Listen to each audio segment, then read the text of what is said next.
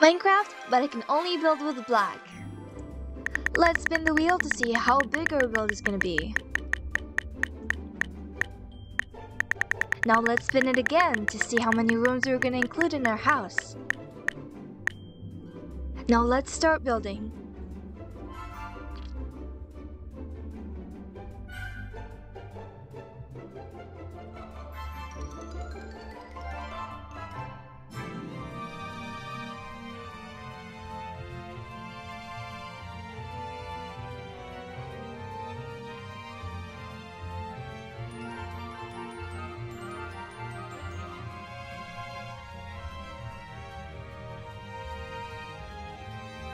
Full video will be uploaded soon, so hit that like and subscribe and stay tuned.